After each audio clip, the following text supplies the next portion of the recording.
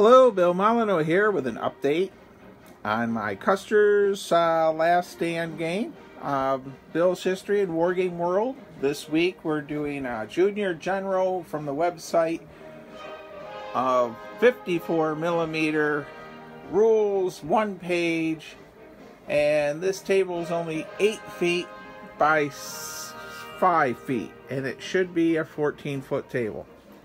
So, we have a few figures crammed on this table, but for the heck of it, um, you know, I'm going to just goof around this weekend. I think I'm going to try to get my wife Lisa to play. Now, a couple comments about these figures.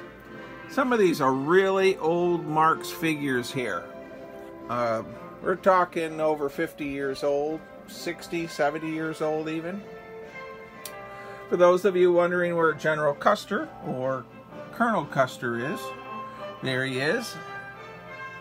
And uh, I haven't had these out in a couple years. So it's just nice to get them out of the plastic tubs.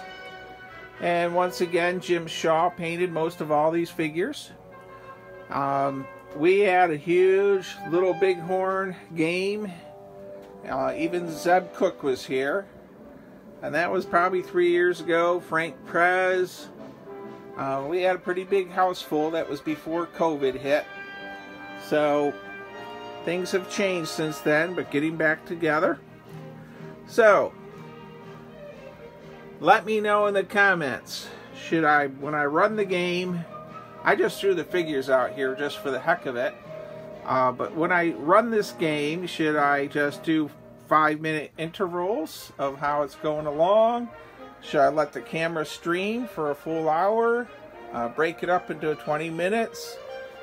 Um, a little feedback. Uh, Jack out in Arizona and uh, John and uh, I guess you're retired from the police department now.